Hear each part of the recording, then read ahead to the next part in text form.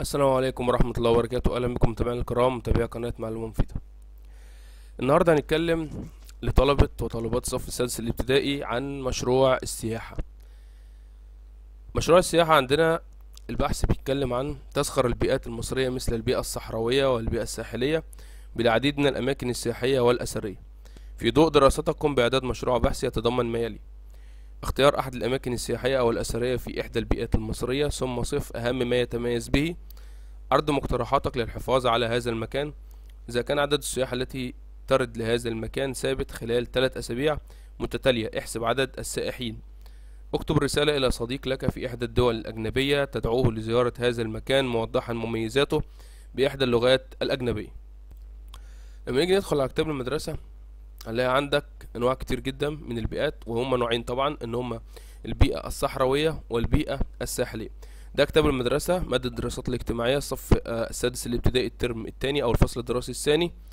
عندك الكتاب صفحة آه، طبعا دي البيئة الساحلية اللي فاتحها دلوقتي. هوريك البيئة الصحراوية الأول. ده درس البيئة الصحراوية زي ما إحنا شايفين كده. ده موجود عندك في صفحة اتنين. وده درس البيئة الساحلية. موجود في صفحة كام؟ الدرس الأولاني عندك موجود في صفحة عشرين. بالنسبة لعناصر الموضوع هنيجي نشوف الموضوع. الصف السادس الابتدائي مشروع السياحة. بيتكون مشروع السياحة من عنوان الموضوع. اختار أي عنوان كويس يكون مناسب للموضوع. وأنا هعرض عليك بعض العناوين كده. دلوقتي إحنا بنتكلم عن موضوع السياحة المفروض. ممكن تقول أنواع السياحة في مصر. السياحة والبيئات المصرية. السياحة وتنوع البيئات المصرية. تنوع البيئات المصرية في مصر. البيئة الصحراوية والبيئة الساحلية في مصر. آه أي أي عنوان يكون مناسب للموضوع. الموضوع اللي هو بيتكلم عن الآثار والأماكن السياحية والأثرية. ممكن تقولوا الأماكن السياحية والأثرية في البيئة الصحراوية أو الأماكن السياحية والأثرية في البيئة الساحلية أو تنوع الأماكن السياحية في مصر. كل دي عناوين كويسة جدا. بالنسبة لرقم التعريف ده الكود بتاعك. انت مسموح لك تكون طالب واحد أو اتنين أو تلاتة أو اربعة أو خمس طلاب يكونوا مع بعض. عايزين نعرف نحدد الكلمات إزاي؟ دلوقتي أنا هكتب اي كلام اي كلام اي حاجة حتى بالانجليش عادي جدا. مش كده؟ لو أنا وقفت على دول كده دلوقتي. مش كده؟ هيحسبها لي كلمة واحدة لأنهم مترابطين زي ما انت شايف. في شايف الوردز أو وردز هنا إيه؟ واحد على ستاشر. ستاشر دي كل الكلمات اللي موجودة خلينا نمسحها واكتب كده أي حاجة بقى. ممكن السياحة نكتب عربي. مهمة في مصر. دول كام كلمة؟ أربع كلمات. عايز أعرف عددهم لو هم أكتر من كلمة بقى وكده يعني لو أنا أكتب كاتب عشر أسطر ولا حاجة أقف عليهم كده. يجي لي تحت إن هم وردس أربع كلمات من تسعتاشر كلمة اللي هو الكلمات اللي موجودة عندك كلها. طيب كده إحنا عرفنا إزاي نكتب آه نعد الكلمات. كتبنا العنوان وكتبنا رقم التعريف. بالمقدمة عايزها من أربعين لخمسين كلمة زي ما انت شايف قدامك كده. من أربعين إلى خمسين كلمة. طيب آه المقدمة هتجيبها منين؟ من كتاب المدرسة. كتاب المدرسة فيه كل حاجة. هو كاتب إيه في أول الموضوع تسخر البيئات المصرية مثل البيئة الصحراوية والبيئة الساحلية بالعديد من الأماكن السياحية. صح الكلام ده؟ انت هتبدأ زي ما هو بدأ بالظبط. تتميز مصر بالكثير من البيئات مثل البيئة الصحراوية والبيئة الساحلية. حيث تتميز حيث البيئة حيث آه، تعتبر البيئة الساحلية هي المناطق التي يقل فيها المطر ويسود ويسودها الجفاف والفقر الشديد في النبات مع ندرة الحيوان وغالبا ما يغطي سطحها الرمال والحصى والصخور وتبلغ نسبة مساحتها 96% تقريبا من جملة مساحة مصر. وتوجد بها ثلاثة مناطق وهي الصحراء الغربية والصحراء الشرقية وشبه آه، شبه جنوب آه، شبه جزيرة سيناء. وأهم الخصائص الطبيعية للبيئة الصحراوية مثل الموقع. طبعا كل الكلام ده أنت هتكتب في الأول حيث تتميز مصر بإيه؟ ألف البيئة الصحراوية. وتكتب كل اللي أنا قلت عليه ده. بعد كده تقول تتميز البيئة الصحراوية بالخصائص الطبيعية مثل الموقع. حيث يوجد الصحراء الغربية تمتد من وادي النيل. آه، والدلتا شرقا حتى الحدود المصرية لليبية غربا وتمتد من ساحل البحر المتوسط في الشمال حتى حدودنا مع دولة جمهورية السودان في الجنوب. بعد كده تدخل يعني إيه اختصر في الكلام علشان في كلام كتير ممكن تكتبه. وهناك الصحراء الشرقية التي تقع بين ساحلي البحر الأحمر وخليج السويس. ممكن تقول كلمة في النص هنا كده تقول إيه؟ حيث ساحل البحر الأحمر الذي يأتي إليه السياح من جميع دول العالم آه، لمشاهدة الشعب المرجانية والاستمتاع بالجو الجميل وحيث أن مدينة الغردقة ومدينة شرم الشيخ تقع على ساحل البحر الأحمر وتتميز هذان المدينتان بالجذب السياحي للجذب السياحي العالي حيث أنهما مدينتان آه، بهما الكثير من المدن السياحية بهما الكثير من الأماكن السياحية والقرى السياحية التي يأتي إليها السياح من جميع دول العالم. كل الكلام ده جميل جدا. وشبه جزيرة سيناء حيث تقع شبه جزيرة سيناء بين البحر المتوسط شمالا والبحر الأحمر جنوبا ويحدها وخليج العقبة والحدود المصرية الفلسطينية شرقا وخليج السويس وقناة السويس غربا وتبلغ مساحتها حوالي 6% من مساحة مصر. مش كده؟ الكلام ده كله مقبول ومن كتاب المدرسة ما يقدرش يعترض عليه خالص مفيش مشكلة خالص. وهناك مظاهر السطح في مظاهر السطح ممكن تقول إيه؟ ما تقولش مظاهر السطح والكلام ده كله. وتتميز الصحراء الشرقية بسلاسل جبال البحر الأحمر من الشمال الغربي إلى الجنوب الشرقي. وتتميز أيضا بالهضاب آه، منها هضبة الجلالة البحرية وهضبة الجلالة القبلية وهضبة المعازة وهضبة العبا... العبابدة ولا العبايدة مش عارف بالظبط تقريبا التي تقطع الأودية والجافة والكلام ده كله. ماشي؟ وتيجي تدخل كده ويتميز مناخ البيئة الصحراوية بسقوط الأمطار التي تسقط فجائية وتتجمع في شكل سيول م... وتتم... آه... مدمرة. لا ملناش دعوة بالحتة بتاع المدمرة دي ما تقولش الحتة دي. ماشي؟ عايزين نقول الحاجات الكويسة. ممكن نقول الحاجات الكويسة. آه هناك الحيوانات البرية التي تتحمل الجفاف والبيئة القاسية مثل الغزلان والجمال والأرانب البرية والثعالب التي قد يستمتع السياح بمشاهدة هذه الأماكن الصحراوية. وهناك أيضا تيجي تتكلم بقى على الموضوع اللي أنت ممكن تتكلم عنه آه مثل هناك من أنواع الصحراء الغربية. هناك واحد الفرافرة واحد الداخلة واحد الخارجة واحد سيوة. وتيجي تتكلم عن آه بالنسبة للصحراء الشرقية ممكن تتكلم هنا. دلوقتي الصحراء الغربية ممكن تتكلم هنا عن إيه؟ عن الواحات الداخلة والواحات البحرية والواحات الفرافرة والجولف الكبير وواحد الخارجة واحد إيه سيوة.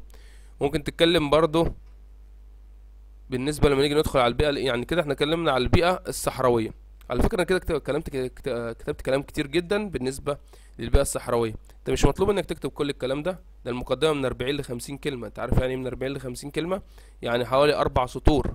أنا كده كلمت كلام كتير جدا ممكن تستخدمه بقى في عناصر الموضوع نفسها تمام؟ أنا بس بوضح لك إنك ممكن تجيب من الكتاب. وهتيجي تدخل على البيئة الساحلية. دلوقتي عندك في البيئة الساحلية حاجات كتير جدا برضو. دلوقتي إحنا لسه في البيئة الصحراوية.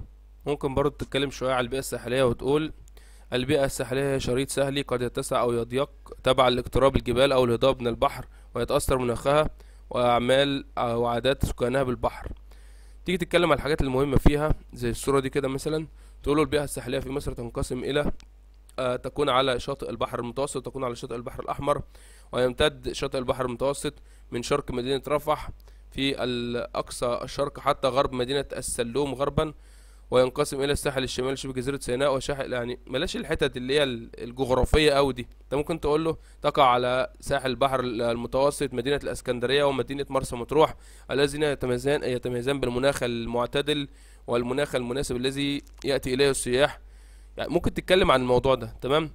ممكن تتكلم هنا وبالنسبة للبحر الأحمر هناك الشعب المرجانية التي إليها السياح يأتي إليها السياح ومدينة الغردقة ومدينة شرم الشيخ الذي تتميزان بالمناخ الجيد والمناسب والطقس الجيد طوال العام ندخل بقى على عناصر الموضوع بعد ما خلصنا المقدمة المقدمه كانت طويله أو أنت ممكن أنا عرفتك بس تجيب منين؟ أنا ما قلتلكش إيه أنا قلت لك تجيب منين الكلام ماشي؟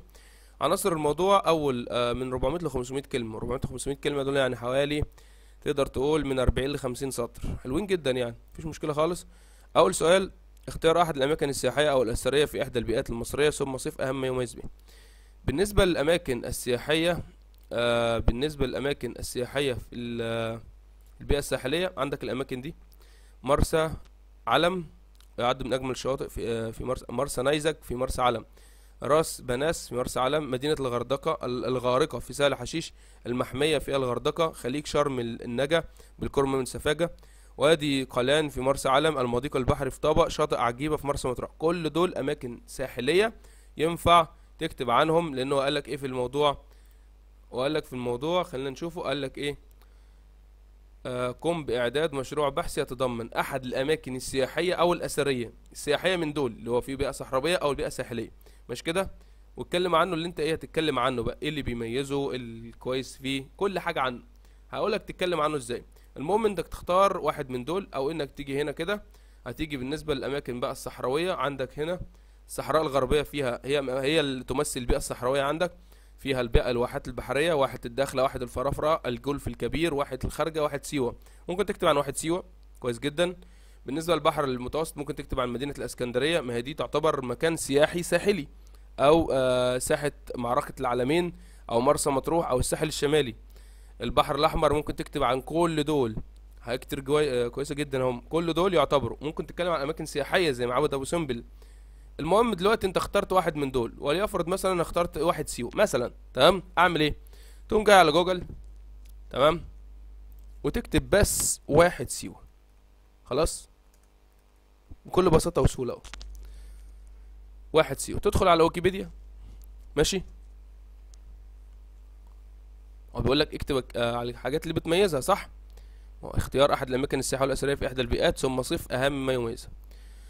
هتقول له واحة سيوة هي مدينة أو واحة مصرية في الصحراء الغربية تبعد حوالي 300 كي- مش لازم تقول الكلام بالنص يعني ما تاخدش copy paste ما تبقاش يعني مش عايز أغلط فيك يعني. واحد سيوه هي مدينة أو واحة مصرية في الصحراء الغربية. حلو الكلام ده. حلو الكلام. آه، ينتشر في أرجائها الآبار والعيون التي تستخدم لأغراض الري والشرب وتعبئة المياه الطبيعية والعلاج وبها أربع بحيرات كبرى. واكتشف بها عدة أماكن أثرية مثل معبد آمون الذي يشهد ظاهرة الاعتدال الربيعي ويجذب إليه السياح من جميع أنحاء العالم. مش مكتوبة صح؟ بس أنا لازم تقولها يعني. مرتين كل عام. ومقابر جبل الموتى وأعلنت وأعلنت بها محمية طبيعية تبلغ مساحتها. بلاش الحتة دي مش حلوة. على إنك هتمتحن في البحث شفوي هتقعد تحفظ الأرقام وتضم عدة أنواع لأشكال الحياة الحيوانية والنباتية ويقطن الواحة ما يقارب من آه ويقطن الواحة ال- العديد من السكان وخلاص. ويعمل أغلبهم بالزراعة أو السياحة. ويسود المناخ القاري الصحراوي الواحة فهي شديدة الحرارة صيفا أما شتاؤها فدافئ نهارا شديد البرودة وهذا الجو مناسب جدا لجذب السياح إليها آه من جميع أنحاء العالم. تشتهر سيوة بالسياحة العلاجية حيث يت- دي أهم حتة بقى اللي هي السياحة دي. السياحة العلاجية حيث تتوفر برمالها العناصر الطبيعية الصالحة لأغراض الطب البديل. تعتبر رحلات السفاري باستخدام سيارات الدفع الرباعي من الرحلات المحببة لزائري الواحة من السياح. كل الكلام ده حلو جدا جدا جدا. مفيش أي مشكلة خالص فيه. ماشي؟ سيبك بقى من الحتة بتاعة التسمية. خليك في الحتة دي. ده أبا قوم من الليبيين يعرفون بأهل التمحم أن برضو الحتة دي مش حلوة. ممكن نتكلم عايزين نتكلم عن السياحة فيها. خلاص يا سيدي. جبت شوية كلمتين حلوين. اخرج تاني. جبت من هنا شوية كلمتين حلوين. اهم صح. ممكن تقول هنا واحد سيوة أو ممكن تقول السياحة في واحد سيوة. حلو الكلام. أو الأمان أهم المناطق السياحية في سيوة. السياحة في واحد سيوة. تمام؟ ممكن آه السياحة في واحة سيوة اهو أبرز الأماكن في سيوة. ماشي. معبد وحي أمون فطناس ومشاهدة الغروب عيون كليوباترا. تيجي تاخد عيون كليوباترا دي وتتكلم عنها شوية. تشوف عيون كليوباترا دي هل في كلام عنها؟ لأ. خدها ككلمة أهو copy. copy أهو. ماشي. تحطها هنا paste كده. آه control V. وأدي enter. يجيب لك معلومات عن عيون كليوباترا. مش كده؟ لا ده جاب عين كليوباترا فعلا ما جابش عيون كليوباترا نفسها. تمام؟ هتكتب عيون كليوباترا في سيوة. آه في سيوة اهي ماشي؟ ساعتها يجيب الموضوع عنها بقى. أو عين كليوباترا جريدة ابو الهول هتلاقيه كاتب كلام برضو زي الفل عنها يعني أكيد. ماشي؟ آه. تيجي تقول بقى تقول إيه؟ وتشتهر واحد سيوة بعين كليوباترا. من أهم الأماكن السياحية في واحد سيوة تقول له عين كليوباترا. وهي آه عين كليوباترا. دلوقتي بكلمك عن واحد سيوة واحد في الصحراء الغربية تقع مش عارف إيه. لا أنا عايز الحتة بتاعت عين كليوباترا. أهي. هنا أهي. بص أهي. وتعتبر عين كليوباترا هي المصدر الرئيسي للمياه الأكثر من 840 ملناش دعوة بالحتة دي. آه، المصدر الرئيسي للمياه. مش كده؟ آه. لكل الواحة التي تتميز بالحدائق والبساتين وتحيط بها أشجار النخيل من كل جانب وتقع بالقرب من معبد آمون وتحيط بالعين الأشجار النخيل من كل جانب وتقع بالقرب من معبد آمون وقاعة تتويج الإسكندر وجبل الدكرور وهي عبارة عن مسبح مستدير آه مسيج بسو آه يعني إيه بسور المحافظة على العين من الردم بفعل عوامل البيئة ومياهها ذات تدفق قوي ونقاء وصفاء والغريب في الأمر أنها دافئة شتاء وباردة صيفا وهذا ما يجذب إليها السياح من جميع أنحاء العالم حتى يروا هذا هذه المعجزة في عين كليوباترا. حتى في وقت ارتفاع درجة حرارة الطقس وهو آه، هو مصنوع من الحجر ويتم ملئه مياه الينابيع الساخنة الطبيعية ويصل السياح إلى داخله عن طريق مجموعة من الصخور وتدخل الحمام المياه من جميع النواحي وليس آه، أدل يعني إيه جيب من كل جانب ما تخليش حاجة توقفك من الآخر يعني. الكلام اللي أنا قلته ده كله على فكرة يعمل لك آه، حوالي إيه 12 سطر مثلا ولا حاجة تقريبا. المهم دلوقتي أنت عطلت مثلا مش لازم تتكلم عن مكان واحد يا أخي اتكلم عن مكانين تروح تجيب تاني. تيجي هنا تاخد المرة دي حاجة من على سهل حشيش مثلا. حلوة سهل حشيش. بنشوف إيه سهل حشيش دي؟ نكتب سهل حشيش.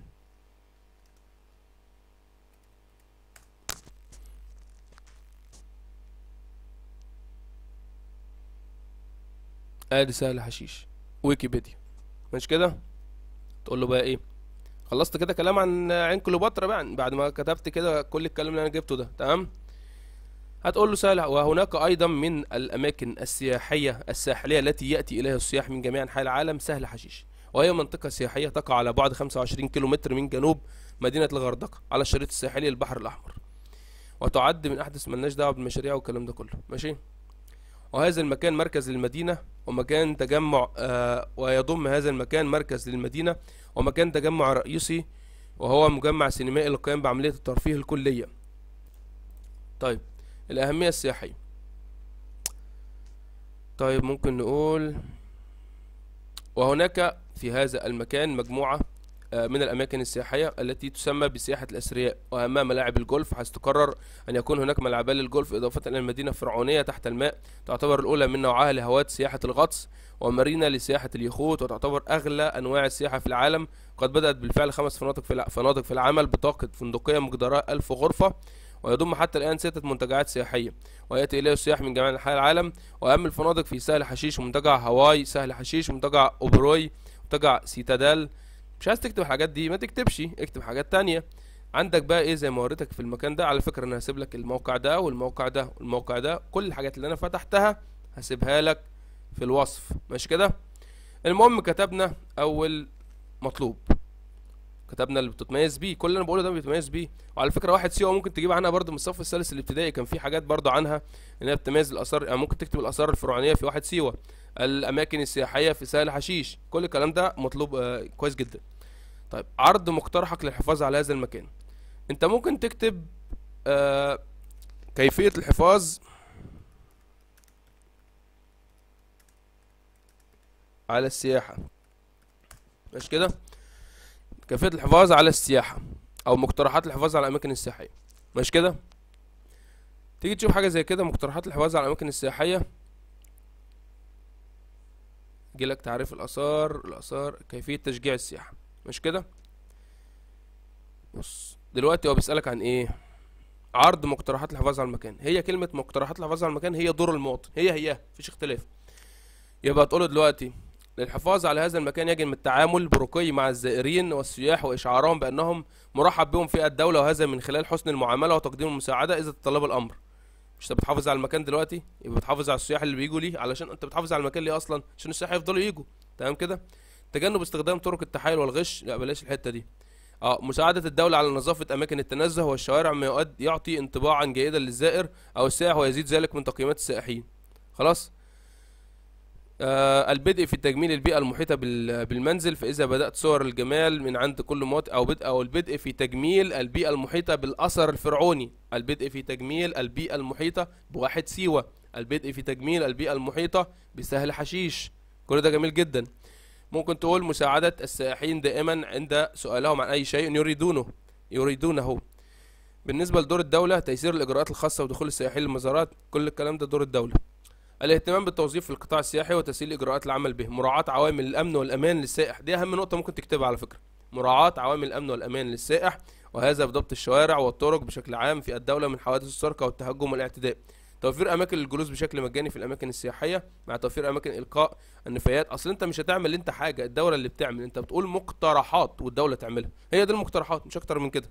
تمام كده؟ الحرص على عدم تعرض الاثر للتلف أو لفقد قطع منه فيتعرض بذلك للتشويه. خلاص كده؟ المحافظة على الأثر في تطويره والعنايه به يعني ممكن تقول إن المحافظة على عين كليوباترا.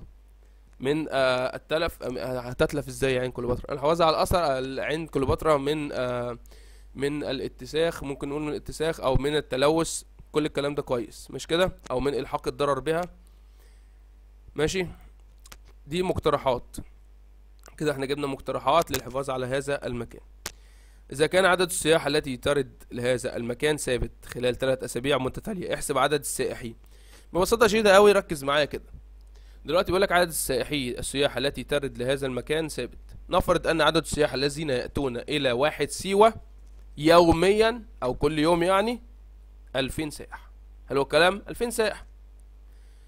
لهذا المكان ثابت خلال ثلاث أسابيع متتالية احسب عدد السائحين.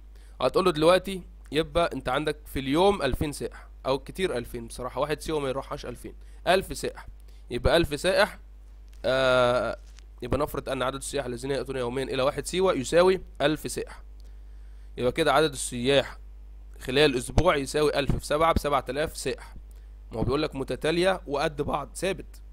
يبقى عدد عدد السياح الذين يأتون إلى واحد سيوة خلال ثلاثة أسابيع يبقى تلاتة. في سبعة اللي هي سبعة آلاف بتوع الأسبوع كامل بيساوي واحد وعشرين ألف سائح.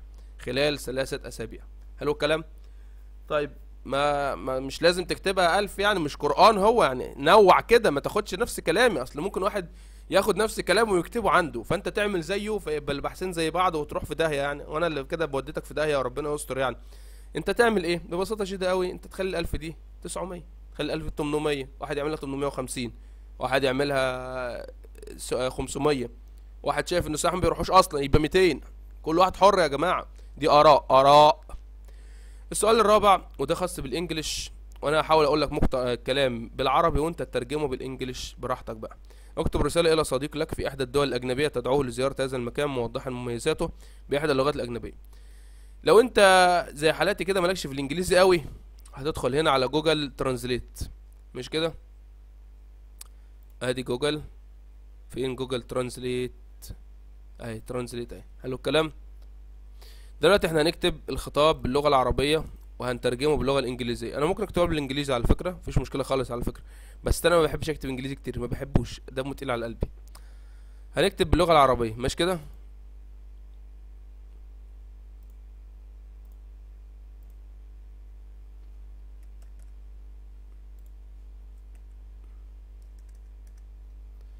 نكتب باللغة العربية. نكتب مثلا عزيزي اللي هي dear ماشي؟ تكتب خطاب يا جماعة. إيه في؟ ما أنت بتدعوه. تدعوه ده تدعيه في دعوة يعني إيه؟ يعني خطاب مش كده؟ كأنك بتكتب له رسالة خطاب. ما هي رسالة هي خطاب. عزيزي آه، مثلا جاك. أي حاجة. تعرف واحد أجنبي اسمه جاك يا أخي؟ عزيزي جاك. آه، أدعوك. آه، ممكن تقول المقدمة اللي بيكتبوها في دايما في الأول دي بتاعت الرسالة اسمها إيه؟ I am happy to send you يعني إيه؟ أنا سعيد جدا. لأنني أكتب إليك هذا الخطاب. خلاص؟ I'm very happy to write this letter to you. أيوه والله هي اللي كنا حافظينها أيام الثانوي بقى. يلا خير. مش كده؟ وتعمل بقى الحاجات اللي علامة ال comma دي. طبعا مفيش هنا فاصلة دي comma بقى. هنودينا في ده يعني هنا فاصلة هيعملها هو كوما خلاص؟ أنا سعيد جدا لأنني أكتب إليك هذا الخطاب. أتمنى أن تكون بخير. أتمنى تكون بخير. كل ما تكتر بالانجلش كل ما كان زي الفل مش كده؟ هو عايز آه، من 15 30 كلمة أعتقد ولا عايز كام؟ خلينا نشوف كده هو عايز قد إيه عشان الرسالة ما تطولش مننا. افتكر بس هو كان عايز إيه؟ فين؟ آه من 15 30 كلمة. خلاص يا عم ما تكتبش كتير ولا حاجة. أصلك هتقول له إيه؟ إحدى الدول الأجنبية تدعو له زياره هذا المكان موضحا مميزاته بإحدى اللغات الأجنبية. يعني دلوقتي أنت هتقول له عن واحد سيوة صح؟ هتقول له عن واحد سيوة. أنا أدعوك لزيارة واحد سيوة. هو يكتبها اويسيس تقريبا سيوة اويسيس I invite you to visit uh, to visit uh, سيوة اويسيس مش كده؟ اللي هي واحد سيوة. التي تتميز بالمناخ الجيد وتتميز بالكثير من الأماكن السياحية مثل عين كليوباترا. مش كده؟ مثل عين كليوباترا. هو كاتب إيه دلوقتي؟ Which is characterized uh, characterized by a good uh, climate. طبعا ممكن climate دي مش حلوة مش عاجباك صح؟ Good weather. عشان انت انت لسه صغير بقى ما تعرفش climate. ميزر مش كده؟ تعدلها انت تخليها weather ماشي؟ and ممكن تقول characterized إيه؟ ما تقولش characterized دي تتميز والكلام ده. Which have وخلاص. Which have. Which have لا هي مفرد. Has. Which has good uh, climate أو تقول good weather طقس جيد and uh, many tourists أو tourist هي tourist ليه؟ ما آه many tourist places آه العديد من الأماكن السياحية. Many tourist places العديد من الأماكن السياحية such as أو like ممكن تقول like عشان أنت لسه برضه في ستة ابتدائي. كليوباترا اي اللي هي عين كليوباترا. الكلمتين دول أساسا يجوا لك أكتر من 15 كلمة أنا متأكد بس أنت ممكن تزود من عندك. تقول بقى الأماكن السياحية اللي أنت لقيتها اللي أنت لقيتها في واحد سيوة وتزود الكلام من عندك. تمام كده؟ بس كده المشروع خلص أعتقد يعني. استنى كده أما نشوف. آه كده خلصناه. كده أنا جاوبت لك الإنجليش والرياضة والاتنين دول تبع الدراسات. مش كده؟ آه إيه بقى؟ قلنا عنوان الموضوع الرقم التعريفي المقدمة عناصر الموضوع. لو عديتهم هتلاقيهم أكتر من 400 ل 500 كلمة على فكرة. لو انت التزمت زي ما قلت لك. لقيت مثلا واحد سيوة وسهل حشيش ما نفعوش زود كمان واحدة. شوف تاني من هنا اهو. فين؟ اهو. زود واحدة كمان من عندك. هي فين؟ واحد الفرافرة واحد الخارجه اتكلم عن مرسى مطروح يا أخي. أي حاجة. مش كده؟ زي ما قلت لك. خش على ويكيبيديا اكتب اسم الحاجة وهتلاقيها على طول. مفيش مشكلة خالص. طيب آه، بالنسبة لإيه بقى دلوقتي؟ النتائج. النتائج ديت اللي أنت بتتكلم آه، تقول له مثلا الحاجات اللي أنت لقيتها يعني إيه خلاصة الموضوع. دي كلمة نتائج. تتكلم تقول له إيه مثلا؟ يوجد في مصر العديد من الأماكن السياحية في البيئة الصحراوية والبيئة الساحلية. قالوا الكلام؟ تتميز واحد سيوة. الحاجة اللي أنت كلمت عنها تتميز واحد سيوة بالآثار الفرعونية مثل عين كلو... آه، بالأماكن السياحية مثل عين كليوباترا. آه إيه تاني ممكن تقول له؟ اتكلمت عن سهل حشيش. يتميز سهل حشيش بالأماكن السياحية والفنادق الكثيرة التي تجذب إليها السياح من جميع دول العالم. كل ده كلام زي الفل. ما تلتزمش باللي بقوله بقول لك انت تجيب من عندك انت شوف الموضوع اللي انت اتكلمت عنه إيه واختصر منه خد منه. دي النتائج. بالنسبة يا سيدي للمصادر ودي حاجة بسيطة جدا. أنا دلوقتي أنا جبت منين قدامك؟ جبت من كتاب مدرسة بالنسبة للبيئة الساحلية. مش فاكر كانت صفحة كام بس أنا قلت في أول فيديو يعني. آه كانت تقريبا كانت صفحة اتنين يعني تقول له كتاب المدرسة صفحة اتنين الترم الثاني أو الفصل الدراسي الثاني الدراسات الاجتماعية صفحة اتنين وصفحة عشرين اللي هي البيئة الساحلية والبيئة الصحراوية. ده اللي انت جبت منه. طب جبت من على النت منين؟ موقع ويكيبيديا مصر على طول من غير ما تقول اي حاجة أصلا موقع ويكيبيديا مصر. التلاتة آه موقع المذكرة الرقمية دار نهضة مصر للنشر. كل الناس بتكتب الكلمتين دول. آه، الحاجة الرابعة يا سيدي هتكتب له مثلا موقع جوجل صور عشان إحنا ما قلناش نجيب الصور إزاي صحيح. دلوقتي أنا على جوجل أهو أو هنا أهو مثلا عايز عين كليوباترا دي صور. عين كليوباترا صور. أخرج من تاني من الموضوع ده. أدي عين كليوباترا في سيوة اهي عايزة إيه؟ صور أنا. ماشي؟ خلي بالك أنا هسيب لك الحاجات المهمة بس في الوصف. أنت شفتني أنا بعمل إيه؟ اعمل زيي وخلاص. يعني ما ت... مش هسيب لك كل الأماكن أنا مش. أدي عين كليوباترا. تاخد العين كليوباترا دي تحطها في الصورة. دي save image as تاخدها. تحفظها عندك. تحفظها save image as تحفظ الصورة بس هو لسه بيحمل. تمام؟ هيحفظ الصورة. أقول له احفظها فين؟ على ال desktop مثلا. وأدخل على المكان اللي أنا بكتب فيه البحث أهو. أجي في وقت مكان الصورة كده وأقول له insert شايف insert دي كده؟ insert picture insert إيه؟ picture بعد كده اختار الصورة. بس هو برضه تقيل شوية معلش أنا آسف. ماشي؟ اختار الصورة. فين الصورة اللي اختارها؟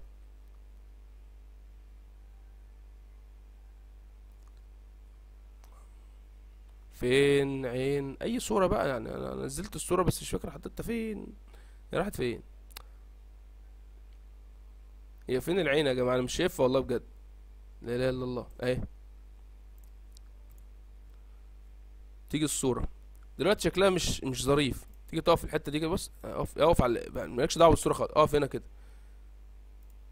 أنا عايز الكلام اللي مكتوب. خلاص مش المشكلة أهو بص تعمل دي كده عشان تكبر الصورة شوية. تعمل دي كده شوية. كبر الصورة. بس نفس الكلام في الصورة التانية. كده إحنا خلصنا. أعتقد كان معكم محمد نور الدين. قناة معلومة مفيدة. وأسف الفيديو طول قوي ولكن أنا بحب أدي الشغل حقه يعني. نراكم في فيديو آخر. لو عجبك الفيديو اشترك في القناة. وفعل زر الجرس عملك الفيديو ونراكم في فيديو آخر بإذن الله تعالى. ما تنساش تنساش اشترك في الفيديو وتطلب مني في التعليقات أعمل لك بقية الفيديوهات أو بقية الأبحاث لو أنت عاوزها. السلام عليكم ورحمة الله وبركاته. كل سنة وأنتم طيبين يا جماعة وربنا يوفقكم بإذن الله تعالى. السلام عليكم ورحمة الله وبركاته.